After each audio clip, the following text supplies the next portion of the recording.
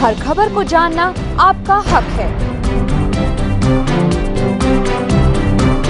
उसे आप तक पहुंचाना हमारा फ़र्ज़। हमारी भरपूर कोशिश रहती है इस रीजन की हर खबर को पहुंचाएँ आप तक। निष्पक्षता से, निडरता से रात शहर में गत रात्रि पंजाब नेशनल बैंक के एटीएम को तोड़कर देने जा रहे थे लूट की घटना को अंजाम। दो आरोपियों को पुलिस ने किया गिरफ़्तार। पदमपुर थाना अधिकारी रामकेश मीणा ने बताया कि रात्रि डेढ़ बजे थाने में सूचना प्राप्त हुई कि पंजाब नेशनल बैंक की शाखा नई धान मंडी रोड पदमपुर में एटीएम के साथ अज्ञात व्यक्तियों द्वारा छेड़छाड़ की गई है, जिस पर दो मिनट के पश्चात पुलिस मौके एटीएम के पास पहुँच गई।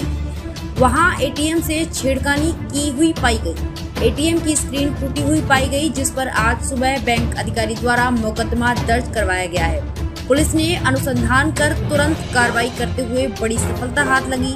पुलिस ने दो मुलजिमों को पदमपुर के अलग अलग वार्डो के बबलू पुत्र करणी सिंह जाति वाल्मीकि निवासी वार्ड नंबर 24 पदमपुर व सतनाम सिंह पुत्र मंगल सिंह जाति मजहबी सिख वार्ड नंबर 03 पदमपुर हिरासत में लेकर पूछताछ की। दोनों मुलजमों ने अप, अपना गुनाह कबूल कर लिया है और बताया कि हमने बस अड्डे श्री गंगानगर से करीब एक माह पूर्व दो मोटरसाइकिल स्प्लेंडर प्लस चोरी किए थे जिन्हें मुलजिमों के कब्जे से बरामद कर लिया गया।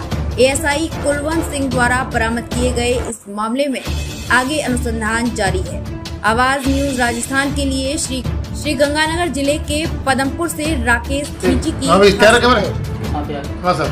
गत रात्रि एक डेढ़ बजे थाने पर सूचना मिली कि पीएनबी बैंक के एटीएम के साथ छेड़खानी हो रही है जिस पर पुलिस लगभग दो मिनट में एटीएम के पास गश्त करते हुए पहुँची।